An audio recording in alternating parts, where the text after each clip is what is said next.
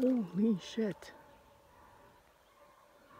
Little baby, you may want to swim away from that big fish.